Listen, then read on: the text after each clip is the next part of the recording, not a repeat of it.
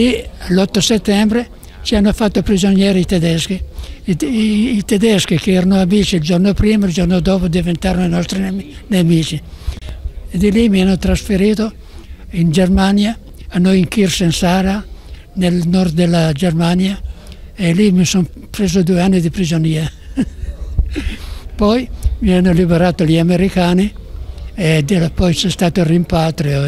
io lavoravo in uh, un'acciaieria uh, lì a noi in Kirse. Il mio lavoro non era molto forte perché eh, aiutavo nell'officina nella, dell'acciaieria, però uh,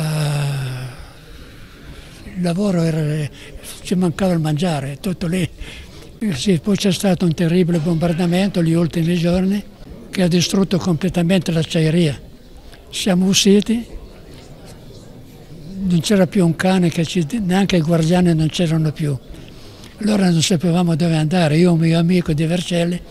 Una testimonianza di, di, di orrore, di una testimonianza di, di sofferenze, lavori forzati, tanta fame, niente cibo.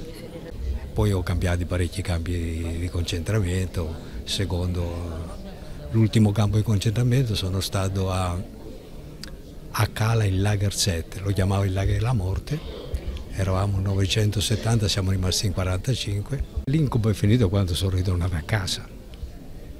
Eh, è finito. Prima ho fatto 28 giorni di, di, di, di treno. Eh, si, fa, si facevano lavorare dal mattino alla sera e quando rientravamo all'accampamento che di giorno dal mattino fuori all'accampamento mangiavamo una volta al giorno, un mescolo di brodaglia,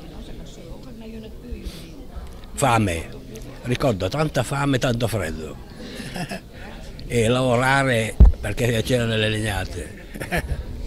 E cosa ricorda invece dei suoi compagni di prigionia? Si stringevano amicizie? Quali erano i rapporti? Con me c'era un barrese che è morto, è morto anzi è morto per strada in una casina. Da, da Grosbeur al campo d'elezione di Lubecca, 40 giorni di marcia a piedi, dal mattino alle 6 fino alle 7-8 di sera. Poi andavamo a dormire nelle casine e la mattina presto per strada a camminare. 40 giorni sono stati lunghi, per strada tanti cadevano che la facevano più da. Eh. Lei porta ancora la testimonianza nelle scuole, le chiedono di raccontare la sua esperienza? Chiedono di raccontare? Sono cose da dimenticare.